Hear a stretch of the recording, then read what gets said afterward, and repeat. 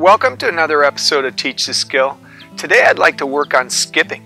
Skipping is one of those uh, foundational skills that children just love to do. It's very common for me to see students in the morning get off the school buses and skip into school. It just seems like it's one of those really fun things that, that you know, almost like a code that they've broken.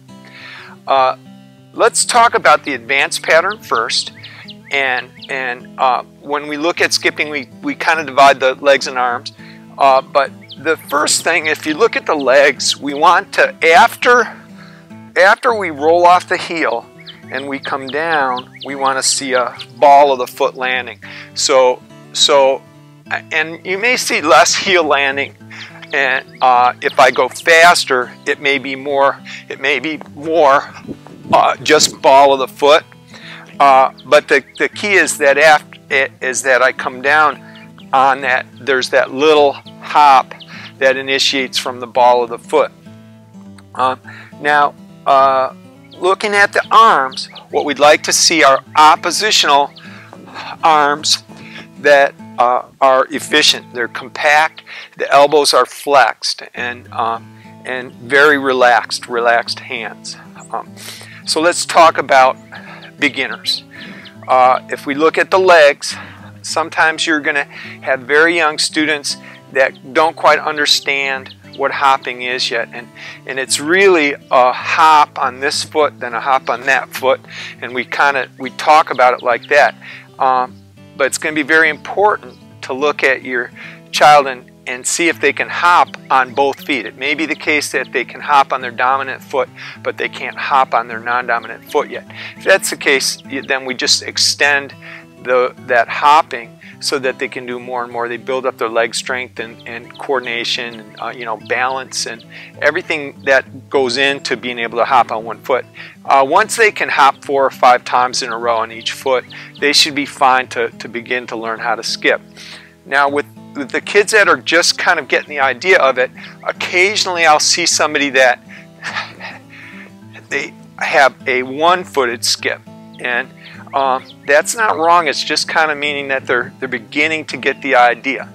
And uh, one of my favorite cues for this is something that I learned from a friend, Jeff Susan, who was a PE teacher in our department uh, a few years back. And Jeff's cue to get kids to, to skip on both feet was to really elevate that knee. And that seems to be one of those great code breaker uh, tasks that just help kids to get the idea of it. So once you have skipping in, in both feet, I, I start to look at the arms. And, and my cue with little kids is that, that I just say try to skip with pointy elbows, um, which is just to keep that elbow flexed. Uh, but what you may see in the beginning uh, you may see uh, arms that are occasionally both in front. You may see you may see a bilateral arm swing. All these things are not wrong. They're just where you are on the way. And as they transition to oppositional arms, it's very common for them to do big arm swings with their arms straight Again, not wrong, just meaning that they're starting to get more of an upper body, lower body connection and, and they're kind of working out this puzzle. Eventually, I'd like to see them with their arms in these compact arm shapes with hands that are relaxed. Now, once they have the idea of this, as we do with, with all of our other locomotor skills, we start thinking about changing direction. So I skip forward, and then I would also be able to skip backward. Um, that leads to patterning where I might go one, two, three, turn, one, two, three, turn. And you'll notice as I, if I'm, if I'm doing that turn and, and in a continuous kind of way, I try to maintain my, the, uh, uh, fluidness in my arm swing so that, so that when they go to change, it doesn't turn into a kind of a, um, a myriad of arm, you know, balance reactive arm motions. I want that to be um, nice and smooth right through that transition. And again, that's just upper body, lower body, real coordinated, real fluid. Um, uh, arm swings that are real connected to the feet.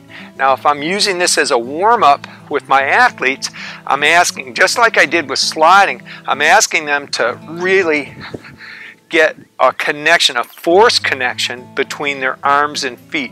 And I'm really trying to wake up the nervous system. And so that, that's one of my targets when I'm, I'm training athletes and trying to get them to be uh, uh, really really switched on in that nervous system when we're getting ready to play a sport. Now, once, once you get them to the point where they can skip in different directions, um, let's talk about some other things that we can do to kind of push and pull on this skill. Um, one, of the, one of the things that we do is to match their skip to a partner. We've talked about this in some of the other skills. And then as we do that, they can take the lead and they can change their skip so they can shorten up their stride or lengthen their stride, and their partner has to match that. Uh, the other thing I love to do is to play tag games where everybody has to skip. Um, I sometimes even mix up the locomotor skills, so one group is sliding and another group is skipping.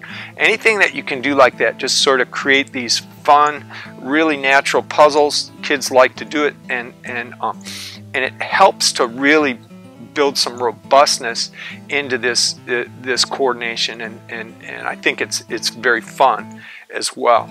Um, you can uh, skip to a beat.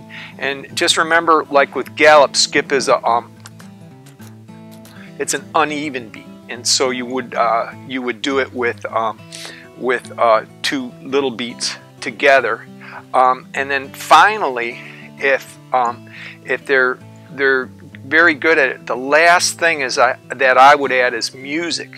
And music's always the hardest because it, it assumes beat competence. And as I mentioned before, we don't see real strong beat competence much before second grade. So if, if, uh, if the child is, is six, six and below, or, or even some seven year olds, uh, they still might not quite have beat competence yet. And, and, if, and if they don't they don't understand what beat is or feel that beat, it will be difficult for them to, to match the beat, especially to music. But if they do, then finding the beat and skipping to the beat is just another great way to build some, uh, some real depth to this coordination. Well, thanks for listening today and have fun teaching your child how to skip.